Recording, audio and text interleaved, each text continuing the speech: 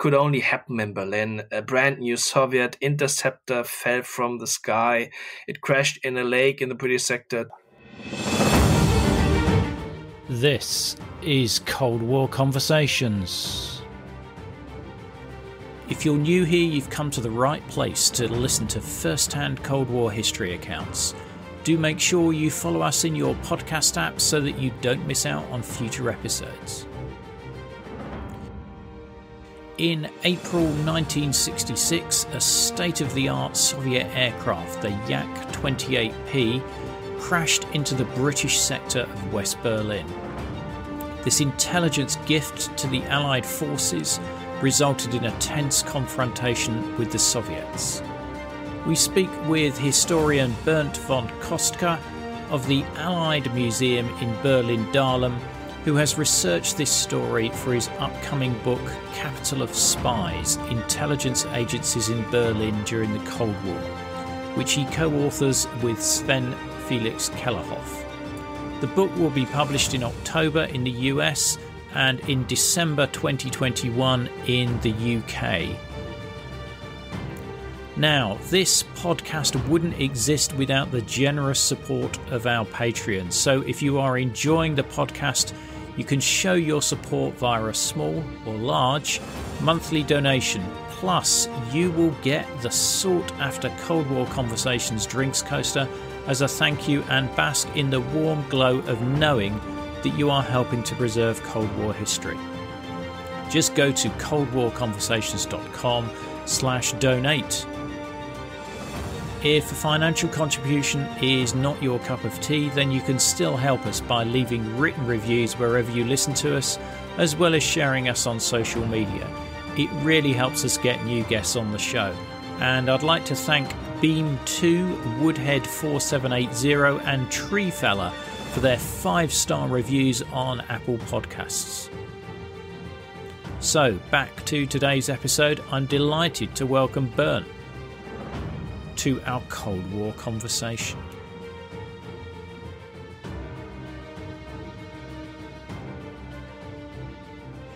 What was Cold War Berlin like in 1966?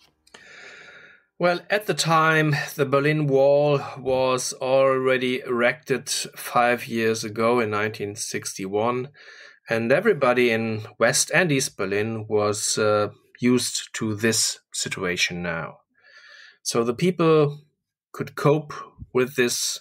Uh, you can call it uh, the normality of the abnormal. And in 1966, the divided city Berlin belonged to the everyday life of the city, as well as the four occupation powers in the city belonged to everyday life. But obviously, the crash we will talk about today was definitely not everyday life. No, although overflights of West Berlin by Soviet aircraft was quite a regular occurrence, I understand. That's right, especially in the 60s. Um, since 1945, uh, there was a flight control zone on a radius of 20 kilometers from a former Allied control building called Kleistpark. And all four occupation nations were allowed to fly within this control zone. And the Soviets were using this right uh, to annoy and to provoke. And the presence of Soviet aircraft in the airspace of West Berlin uh, had been a terrible uh, nuisance to the Western powers and to the Berliners uh, for years. And actually, one year uh, before, in 1965, several fighter jets had flown overhead and had massively disrupted a session of the German Bundestag in the Berlin Congress Hall. So the situation of Soviet fighters over West Berlin was indeed not new. Can you just talk to me about the circumstances of the crash? Well, on the 6th of uh, April, a pair of uh, Soviet Air Force Yak 28P uh, fighters took off from Finow Airfield. This is uh, located uh, near uh, by Eberswalde in East Germany and approximately 40 kilometers away from Berlin. The pilot was Boris Kapustin and his navigator was Yuri Yanov. They tried to make their way to another airfield in East Germany that is called Köthen. So they wanted to make the same trip three days earlier, and I think that's quite important. But they failed to do so because of engine problems, and they had to return to Finow airfield. So mechanics were working three days to solve the problem. But 12 minutes after the takeoff, at uh, around uh, half past three after midday, um, one of the pilot radioed air traffic controllers uh, with an emergency situation, declaring that one of the Yak's two turbojet engines had failed and that the aircraft was becoming becoming unstable and uh, difficult to control and to maneuver. Soviet military controllers ordered to take an emergency landing at Schönefeld Airport in East Berlin, which is not far away. It's actually around the corner. But probably further problems with the second engine appeared, and they were unable to keep control of the aircraft. And eyewitness said uh, the plane dropped like a stone. So the pilot, uh, Boris Kapustin, and his navigator had around 30, 40 less than seconds, less than a minute to check their options and to make their decision. So they were over West Berlin and they had the radio permission to eject, but neither Kapustin nor Yanov did eject. Instead, Kapustin wanted to take control of the aircraft long enough to avoid a series of apartment blocks before crashing into the Lake Stößensee in the British controlled sector of West Berlin in the district of Spandau. Seconds later, the 21 meter long aircraft disappeared in the lake. Bernd, I've I've looked at the uh, the map of Berlin, and the the Stößensee doesn't look like a very big piece of water to crash into if it was a a guided crash. Yeah. That's a, that's a good point. Indeed, if you go to Google Maps and uh, look at the Stößensee, it's a very, very tiny lake. You know, Berlin has a lot of waterways and a lot of lakes in the city and around the city. But this Stößensee was uh, approximately 150 meters on his smallest width, and uh, the widest point is only 300 meters, and the total length is a bit more than one kilometer. So it's actually quite difficult uh, to hit, especially into the Stößensee. And even though the Stößensee is on three sides surrounded by forest, it's only one side uh, where you have a, a huge housing area that uh, the pilot probably wants to avoid. But if he wants to hit the Stößensee on purpose, you know, that was actually a good maneuver, especially if both engines were not working. We talked about the Yak 28P. What what sort of plane what was this? What what was its role? Well, the Yakovlev Yak 28 is a swept wing turbojet powered combat aircraft used by the Soviet Union, and it was uh, produced initially as a tactical bomber. It was also manufactured for reconnaissance and electronic warfare, and as an interceptor known by the NATO reporting name Firebar. And it began to enter the service in um, 1960, and it served until the fall of the Soviet Union and was used until 1992. But um, saying that in April 1966, the Yak 28P interceptor was nearly unknown to the Western forces. It had only been introduced to Soviet Air Force units in the GDR a few months earlier, and the American military liaison mission, mission in the GDR had only managed to take a few photographs of a Yak on a flight over East Germany, and, and that's all. And now one of these unknown interceptors uh, came down in British territory. What was the the Allies' immediate reaction to, to this event, and how, how did they know it had come down? Yes, well, uh, American and British military intelligence services were monitoring Soviet distress call from monitoring facility at the Teufelsberg as well as uh, nearby RAF Gatow at the time of the crash. Later on, that, that started in the 60s, and later on, uh, they had a system uh, monitoring all air traffic and all air conversation from they had a combination of systems from Teufelsberg, from Gatow, from Tempelhof, and from Marienfelde.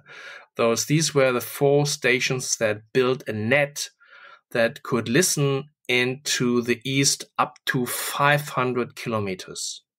So in Teufelsberg was just in service until the early 60s. So that was the beginning of those uh, monitoring uh, deep into the east.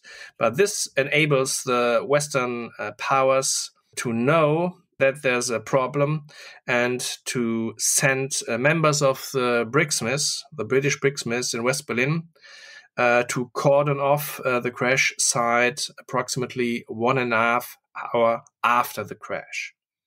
And the Soviets arrived nearly one hour after the British arrived.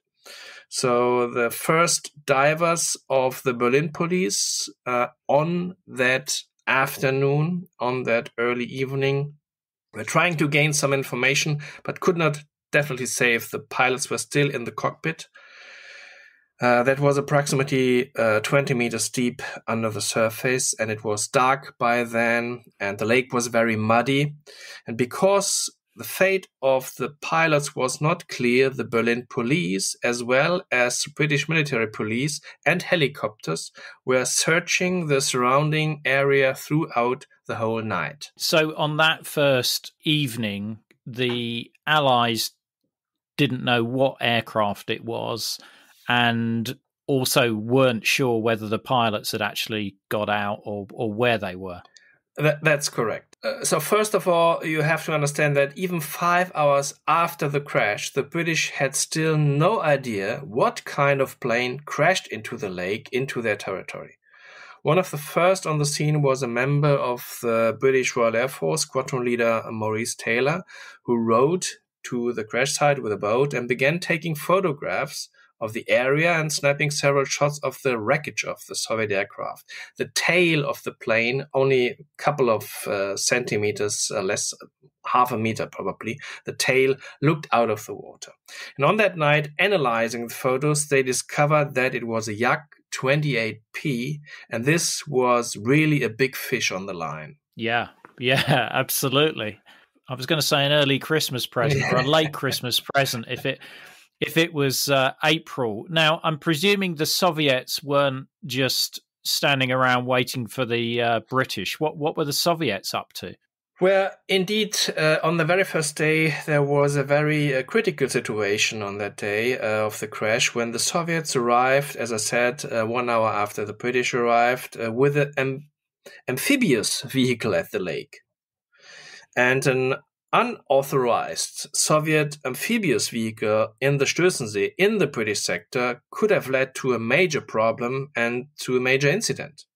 So the Soviet delegation demanded that all activities should be ceased until Soviet units arrived to recover the aircraft. And uh, not uh, surprisingly, the British rejected this demand. But uh, obviously, the Soviets were not happy with this answer, and uh, tension arise.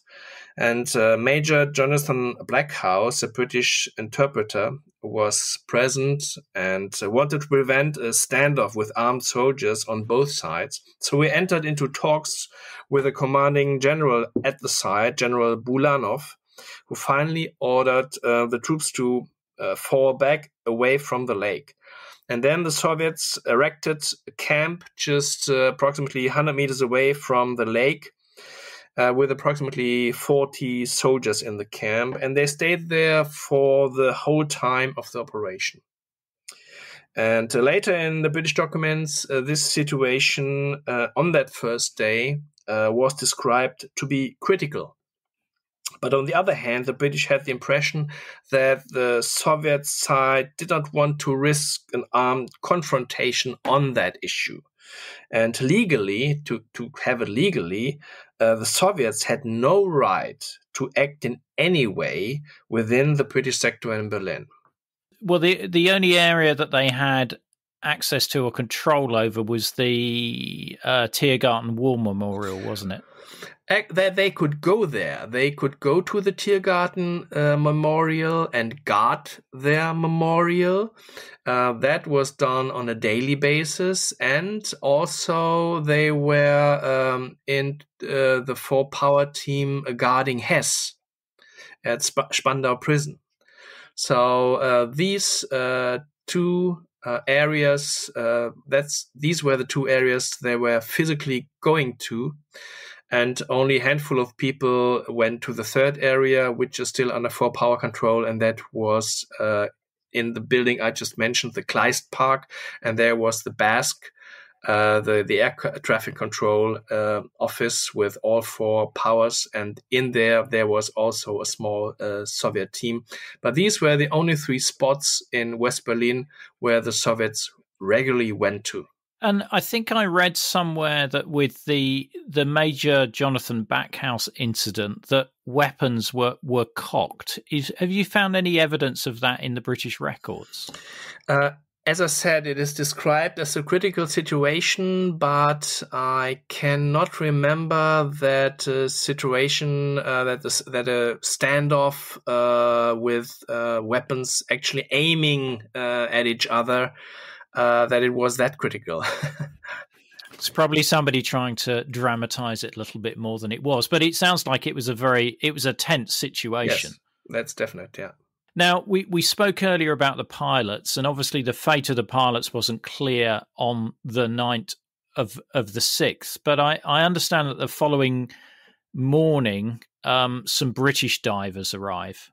Indeed, as I said, uh, first of all, they were taking divers which were on the scene. This were uh, police divers, uh, but it was uh, dark, it was muddy. So next day, professional um, Royal Navy divers from Portsmouth landed uh, at the British airport Gatow in Berlin, and now the search and the recovery efforts could be done properly. When at work at the crash site on the 7th of April, the main concern was to raise the bodies of the two crew members. It was beyond doubt uh, approximately um, a quarter to six that both men were dead and still in the cockpit. So that was for sure at that time on the second day. But um, great care had to be taken in pulling them out of their seats because ejection seats, uh, though they had not been fired, could very could have been damaged uh, by the crash. Uh, so divers had to be very carefully.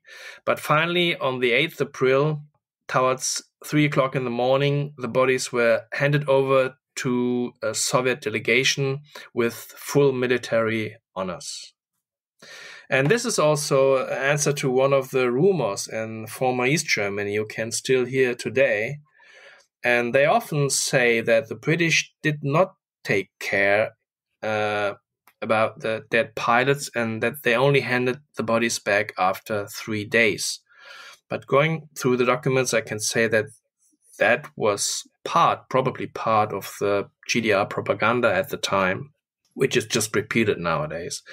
But this was done exactly after 36 hours, and I'm certain that uh, Soviet documents would tell you the same timetable, but unfortunately, uh, we do not have access to those Soviet documents. Yeah, yeah, because there's a. Uh, again, it's something I've read, and I'm sorry I can't remember where I read it from, or maybe I imagined it. I don't know. But the, the British were trying to delay the Soviets by saying that they hadn't been able to get the bodies out yet. But from from what you've seen from the British record, the, the British were trying to do it as quickly as they could, but were concerned about the state of these ejector seats, particularly. That's right. A delay of uh, things to discover will come later in the history. that was okay. that was part of the intelligence uh, coup they had, but not when they discovered the bodies. So that was uh, primarily. So uh, that's for sure. They they took care of the dead pilots, and that was one of the first things they did. And when that was out of hand, they were looking at the intelligence stuff uh, they were uh, aiming at. Yeah. Right. And, w- and when you say that the bodies were handed over to the Soviet delegation with full military honors, what, what, what does that mean, full military honors? As I remember, it was a, a group of soldiers uh, saluting, uh, and um, like when the dead body of Major Nicholson, who was shot in uh, East Germany by a Soviet sentry, was handed over uh, the Glienicke Bridge. Uh, the thing is, you have five soldiers on the right hand side, five soldiers on the left hand side doing a salute when the body uh, entered the bridge and when it was taken into the car, things like that. The British are now aware that they've got a big fish. What what do they do to try and get secrets from the aircraft? Because presumably the Soviets, the other side of the lake, are, are watching the lake twenty four seven to make sure there's no uh, dodginess. Yeah, that's right. Well, obviously they they they did uh, assume that something something will happen underwater, and indeed uh, that's what happened underwater. So the British divers from Portsmouth uh, also recovered items of military interest. This included the radar equipment, uh, which was then sent to England for examination. Uh, it had been intended that the work in England uh, should be done pretty quickly, uh, for the wreck was to be returned to the Soviet authorities on the 13th of April. So the parts that belong in the cockpit would need to be reinstalled before then if the British wanted to leave no evidence that they had been examined the cockpit. So, however, the electronic equipment from the nose cone did not end up being sent back to Berlin by or in time, or by the time the fuselage was handed over to the Soviets on uh, the Havel on the afternoon of the 13th of April. And uh, again, this is a very uh, unique uh, story. Uh, the meeting point on the river had only been agreed on after tough negotiations with the Soviets. Uh, the wreckage was transported by a British ferry to a point near the East German frontier on the water and was then loaded onto a Soviet ferry. and this is, uh, can you imagine this uh, strange situation? You know, you meet on a, a, border frontier and, and load stuff from one ferry to another. So that's pretty weird. And General Bulanov, who had been entrusted with uh, conducting the negotiations on the part of the Soviet Union, he took the receipt of the wreckage, and it was agreed that a further search would be carried out for the remaining elements of the aircraft that were very important parts, like the radar, engines, uh, and other bits and pieces that were missing. So more significant, uh, however, was the absence the absence of a very important bit, and that was the identification uh, friend or foe, the IFF and that set was not returned uh, in the wreckage on the 13th of April. And the Yak 28 carried a sophisticated radar system known as the skip spin, which gave the Soviet fighter the capability to look up and down as well as ahead when doing scans. So, this radar system was of great interest to both the Americans and the British militaries. And it was a severe blow to the Soviet military leadership that its IFF system no longer remained a secret after the crash into the Stößensee. The Soviets must have immediately smelt a rat here. The fact that probably the most important bit of the aircraft missing, yeah they weren't getting back; they were just getting the scrap metal. yeah, eh, but but they had probably they had uh, the the hope that it would be handed over in the second part, and I will tell you about the second part. Uh, the next part of the recovery program was to find the wings and the engines. These uh, components had been torn off on impact and were now widely scattered in the lake. The Soviet representative at the crash site, aware that these parts of the operation would take more time, had moved into quarters and, as I mentioned, to a tent city near the lake uh, since the 6th of April. And it was the idea of the commandant of the British sector, the Major General Sir uh, John Nelson, to delay the return of the engines so they could be examined. But the only problem at the time is uh, that the British had not found any engine at the time. So, how much time would be needed for finding first engine? Uh, how much time would be needed for the examination of the engines? And for how long could the Soviet military be kept waiting with the rising suspicions? As you said, uh, they were uh, watching the operation.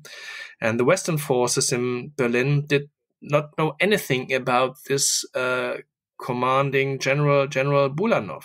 So they were unable to assess how he might react to the planned intelligence maneuver. But when the first engine was found on the 18th of April, although the British kept it a secret and took it to the Royal Air Force base in Gatow on the 20th of April. In the following days, the engine of the Yak 28 was examined in detail in one of the hangars by British experts who had been especially flown into Berlin for that purpose. And during that time, the Soviet representative, um, General Bulanov, in the belief that neither engine had been found, complained daily about the inefficiency of the British operation. But uh, when finally the second engine was discovered on the 25th of uh, April, the British gave the Soviets the impression that this was the first engine they had found. However, time was running out, and it had been decided in London that the parts being examined in England would arrive back in Berlin on the 1st of May. The British therefore announced on the 28th of April that they had discovered the second engine, even though it had in fact been in Gatow, Gatow for a week for examination. So both engines were finally handed over on the 2nd of May, and General Bulanov wrote to the British and pointed out that an important part was still missing, although he did not describe in detail what it was, it was the part of the radar system. And it is doubtful whether he believed the claim of the British that any components that had not been returned must still be on the bottom of the lake. now you can imagine poor General Bulanov's uh, increasing frustration there. I understand the British used quite a, a sneaky technique to to get the engine away from the Soviets because obviously it's a large piece of metal that you couldn't just put on a boat and chuck a bit of tarpaulin over it and hope the Soviets didn't notice. I understand they, they sort of somehow managed to tow it to another part of the lake. Yeah, they towed to other part of the lake, and then they they um, uh, mantled it uh, under a, underneath the water under a boat and transported on the waterway near uh, near near Gatow, so it was out of sight for the Soviet delegation. So it's all clever stuff. It's all very clever stuff here. But even though, uh, you know, the Soviet would have done the same, and I'm 100% sure Bulanov knew, oh, yeah. knew what they were doing there underwater. Yeah yeah, yeah, yeah, absolutely. So how does this finish? So the the Soviets just agree or or agree with the British that they can't find these other bits of the aircraft. That's right. The Soviets had no right to search for the bits and pieces themselves. So basically, they had to believe uh, when the British told them, sorry, that's all we could find. Uh, if there are smaller parts, the lake is very muddy, and uh, because of the crash, it could be it could be shattered for for for 100 meters whatsoever. Uh, so they just have to believe what the British told them that uh, they did everything to find all bits and pieces, and that they gave back everything they found, which is not the case. But they cannot do more than believe uh, what the British told them. And and the other bits that the British hung on to, are they in a museum somewhere or have they just disappeared? Uh, that's a good question. Uh, I would. Uh, it would be clever to uh, display them in a museum. maybe in a, for the divers in Portsmouth. Maybe they have. I, th- I think they have a, a, naval museum there in Portsmouth. It would be pretty clever to have an exhibition on that on there. But I haven't. I haven't come across of any of those parts being uh, examined in Great Britain and not being sent back to Berlin. No, they'd be good being exhibited at the um, the Luftwaffe Museum at Gatow. Actually, that that would be a good place for it. How is this incident remembered in in Germany now, and and what was the what was the impact at the time amongst the West Berliners? Well, at the time, it was uh, the Berlin mayor Willy Brandt, uh, who uh, a couple of years later became the chancellor of the Federal Republic and he at the time found the most uh, fitting words when he spoke of the crash a few days after it take place. And he acknowledged the bravery of the soviet pilot and the navigator for sacrificing their own life in order to avoid a disaster so that was the yeah the way it was remembered at the time. It was obviously in the in the radio news more or less daily, and also in at the TV news. But nowadays, uh, Boris Kapustin and uh, Yuri Yanov were hailed as heroes uh, also in East Germany and the Soviet Union for having maneuvered their interceptor over the residential area of West Berlin and uh, crashed their plane into the lake. And a memorial was erected in their honor in the park of Finow in Brandenburg. That's the area where the plane actually started in 66. And after the unification of Germany, the district of Spandau, where the Stößensee is uh, placed, unveiled a commemorative plaque for both men on the West Berlin Bridge over the Stößensee in 1992. Uh, unfortunately, it's pure coincidence and bad luck that for the last 10 years there is a construction fence, a side fence on the Stößensee Bridge. So pedestrians can hardly identify or even read uh, the commemorative plaque for 10 years now. You say they were hailed as as heroes in the Soviet Union. Are they memorialized there at all?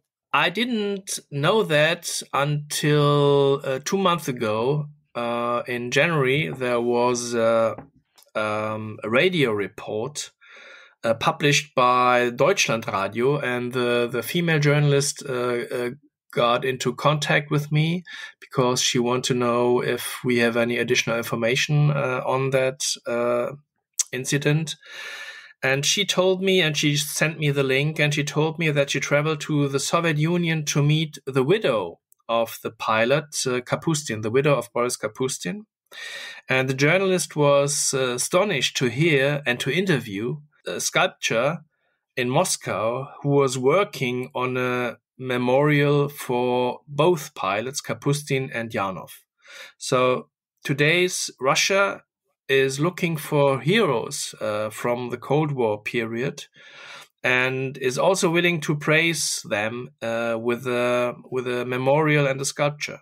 Every few years, uh, there in Russian newspapers, an article appears that is dealing with the Yak crash in West Berlin and the two uh, pilot heroes. And on one article that even suggested that the German Chancellor Angela Merkel herself does worry about the welfare of the widow and the children of those two pilots today in Russia. And when I listened to this radio report, uh, and uh, the widow obviously uh, proudly mentioned the Angela Merkel episode, uh, I, as a listener, feel somehow sorry for her because you know that this is not the case. So Angela Merkel does not worry about the welfare of uh, Kapustin's or Yanov's widow. But the widow, she lived in her own bubble of history where her husband is a hero, and I do not doubt that he is one, at least for her and probably for the Russian government. And in the former GDR, there are still groups who remember this incident. And I think every year there is a wreath laying ceremony uh, near this memorial in, in Finow. And uh, they are present there. But in West Berlin, only a few people remember this crash in 1966. And in former West Germany, I would say it is basically unknown. I think you, you said to me earlier that um, one of the pilot's sons managed to get some more information out of the Soviet files. Yes, during this radio report, uh, the journalist also not only met uh, Kapustin's wife, but he also met his son. He was uh, six years and living in East uh, Germany when uh, the crash happened. So his son later uh, Mm, entered either the military or the intelligence service, uh, but nevertheless, he was able to look at his father's documents in the archive. And uh, he said, and this is the common common way it is seen in the Soviet Union that Kapustin and Yanov did get the order to eject. And the we and our saying is that they got the permission to eject and that it was their own will to maneuver to maneuver the the plane uh, into the lake. But the the the saying in, in Russia is that they got the order to eject, and so they yeah don't they don't obey orders, and probably the idea was that the plane should crash uh, brutally and explode uh, when it hit the ground. But for me, uh, somehow it I have the impression they were just looking for scapegoats, and the government could not say, well, look, boys, we have an airplane that's falling from the sky.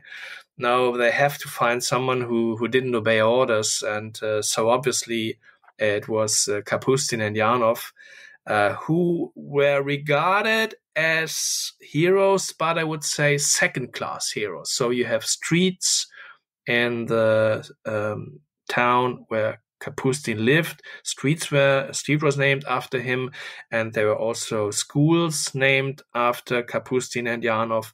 But they didn't get the the the, the top top notch fame of a real Soviet Russian hero in the Cold War area. So they were only second class heroes, I would say.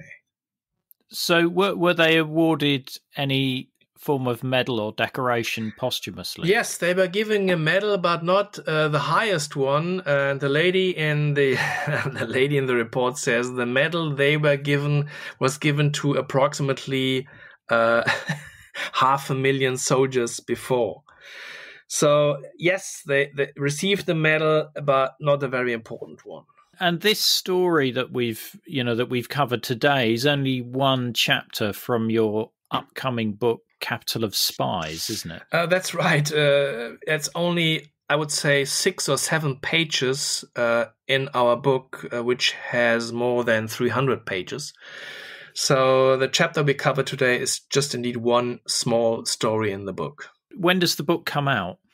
It's in the process of translation at the moment, and the publisher is planning to publish it in October in the United States and in December in uh, in England in uh, Great Britain. So uh, roughly at the end of the year, it is in both countries available. Right. It sounds like a must-have book for anybody interested in the history of Berlin and intelligence operations in Berlin. The book is called Capital of Spies: Intelligence Agencies in Berlin During the Cold War and uh, Bernd has co authored that with uh, journalist Sven Felix Kellerhoff. Um, so watch out for that. Bernd, overall, you know, th- this incident was obviously very significant in 1966, but now, sort of looking back on it, what would you say is your view on its uh, context? Well, first of all, it's always tragic when when people died uh, during such an event, and uh, it leaves a lot of space. Um, I wouldn't say for speculation, but for different opinions. as I said, you have a special opinion on that incident in West uh, Berlin, uh, in East Germany, in Russia. And um, I think uh, this story has everything that's needed to be a good Cold War story. You know, um, uh, as I, as I just described it, it was it was so weird. It's one of those episodes that could only happen in Berlin. A brand new Soviet interceptor fell from the sky. It crashed in a lake in the British sector. Two people died. Uh, intelligence operations started under the eyes of the Soviet officers in tents near the lake. Uh, the fuselage were handed over from barge to barge on the frontier on the water. And after 55 years, the pilots were regarded heroes in the East and probably forgotten heroes in the West. So, um, yes, you have a lot of aspects to look at in this episode, and that makes it so interesting. And we have further information such as videos and links in our show notes, which will show as a link in your podcast app. Now, you wouldn't be listening to this podcast without the generous support of our patrons. However, I want to especially thank our Politburo level members who are contributing a generous 30 US dollars a month to keep us on the air. They are Tony Sowards, Sam Hardwick, Nicholas Butter, Mark Labance, Jeffrey Jones, Matthew Comstock, Frederick Esposito, Jack Madwed, Todd Lemieux, and Peter Ryan. Don't forget, if you like one of those Cold War Conversations coasters and help support the show, then head over to coldwarconversations.com slash donate. If you can't wait for the next episode, please visit our Facebook discussion group where listeners just like you continue the Cold War conversation. Just search for Cold War Conversations in Facebook. Thank you very much for listening. It is really appreciated. Goodbye.